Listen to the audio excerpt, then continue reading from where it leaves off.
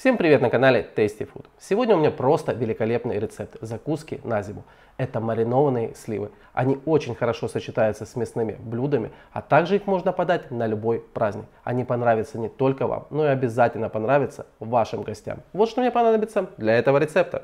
Для этого рецепта я буду использовать плотные сливы. Лучше взять недоспевшие, чем переспевшие. Также мне понадобится сахар, лавровый лист, корица, гвоздика, душистый перец, уксус 9% и вода.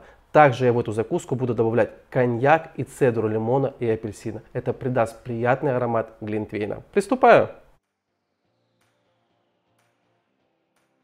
Первым делом готовлю маринад. В кастрюльку высыпаю сахар. Добавляю душистый перец, гвоздику, корицу, лавровый лист, цедру лимона и апельсина. А также добавляю воду. И отправляю на огонь, пусть закипит. Кипячу маринад до растворения сахара. После этого, когда сахар растворится, добавлю коньяк и добавлю уксус. Кстати, коньяк и цедру можно добавлять по желанию, если вы хотите приятный аромат глинтвейна. Маринад закипел и сахар растворился. Добавляю уксус. Коньяк.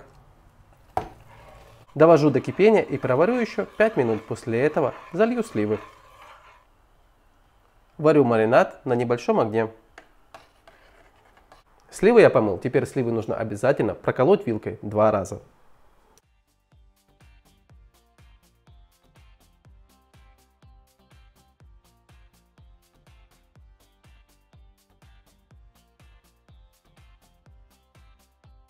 Заливаю сливы кипящим маринадом.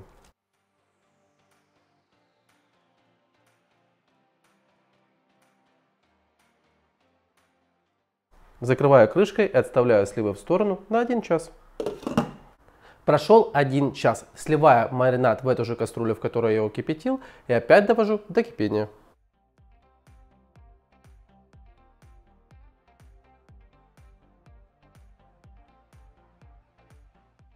И отправляю на небольшой огонь. После того, как маринад закипит, нужно опять залить сливы. Маринад только закипел, опять заливаю сливы.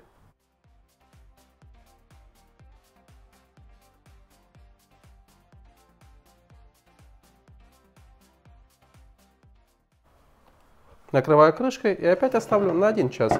Слива постояла еще один час и посмотрите, сколько напустила сока. Теперь опять нужно этот маринад вместе с соком закипятить и после этого буду закатывать сливы.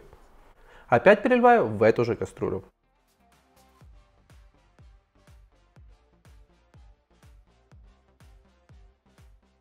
Отправляю маринад на огонь, пусть закипит. Тем временем разложу сливы по стерилизованным банкам.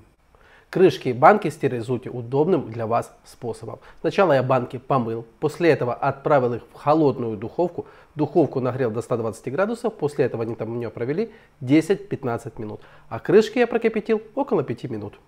Раскладываю сливы по банкам.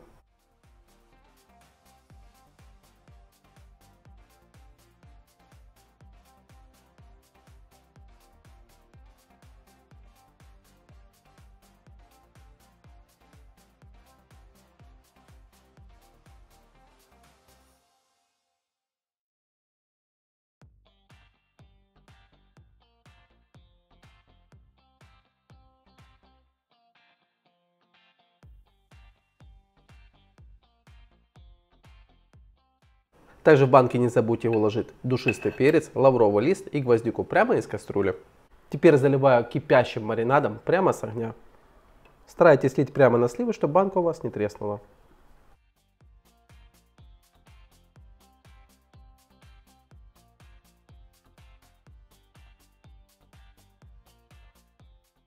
И сразу закатываю банки, переворачиваю и укрываю теплым полотенцем. С этого количества получается примерно 6-7 пол-литровых банок. Но, конечно, все зависит от размера слив. Сливы по этому рецепту получаются намного вкуснее, чем просто их залить маринадом и закатать.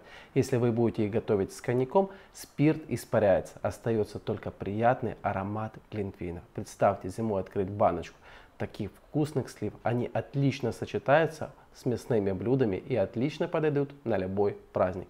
Всем приятного аппетита!